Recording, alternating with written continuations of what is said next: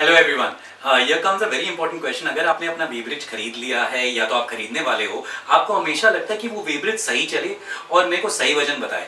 अगर आप नहीं खरीदे हो जो खरीदा हुआ है आप उससे पूछेगा there is a common problem which people face कि अगर वो कहीं से वेब्रिज के लिए uh, कहीं से माल खरीदते हैं और वेब्रिज पे वज़न करते हैं या तो कहीं माल बेचते हैं और वहाँ वेब्रिज पे वज़न करते हैं तो there is a weight difference which they encounter between two weighbridges why does this happen and then comes a confusion कि मेरा वेट सही है कि नहीं? क्योंकि वो जो माल भेज रहा है, मेरे यहाँ अलग आ रहा है, लेकिन मेरे बाहर जो धर्म काटा या पब्लिक वेट है, वहाँ वज़न कर रहा है तो सही आ रहा है। तो क्या मेरा गलत है क्या?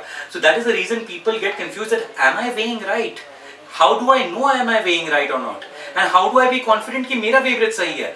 So these these answers lead down to only one answer, and one answer, you should always get your favorite checked with calibrated test weights and not even only test weights calibrated test weights जो calibrate हुए हुए test weights है उसके साथ आप अपनी वेबरेज को, अगर साल में एक बार भी टेस्ट कर रहे हो तो आप उसको टेस्ट करके देख लो कि आपका वेबरेज सही है कि नहीं, और सही वज़न बता रहा है according to the test weights और अगर आपको वो बता रहा है तो आप अपना बाहर में एक बार जब वज़न कर रहे हो, दस टन पे देख लिया, फिर आप एक गाड़ी को खड़ा करके देखिए दस टन का, अगर वहाँ पर वो दस टन बता रहा है, फिर बाहर में आप अपने धर्म से वज़न करके एक डिफरेंस मार्क कर लीजिए कि मेरे यहाँ जो दस टन है, वो वहाँ पर दस टन समझ लीजिए पचास के है। तो आपको मालूम पड़ गया दिल पचास के डिफरेंस फिर अगर आप 40 टन जब वज़न कर रहे हो तो आपको मालूम आपका वेवरेज सही है। और अगर आपको कहीं ये डिफरेंस बोलता है आपका कस्टमर तो आपको क्या करना चाहिए? आपको एक 10 टन की गाड़ी अपने यहाँ वज़न करनी चाहिए, अगर वो 10 बता रहा है, उसके बाद बाहर में वज़न करना चाहिए। अगर वो 10 टन 50 बता रहा है, इसका मतलब आपका कॉन्स्टेंट डिफरेंस सेम है। तो आपका वेवरेज अभी भी वही टेस्ट वेट से कैलिब्रेट किया हुआ, वही कैलिब्रेशन सही तरीके से चल रहा है। इस तरीके से आप ये जान सकते हो।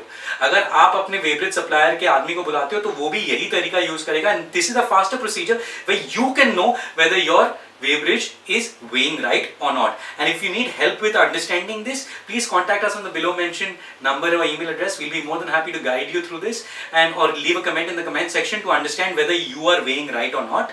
And if not done already, please press on the bell icon below to subscribe to our channel to know more about weighbridges, calibrations, weighing right, losses, etc. All of it. Thank you so much.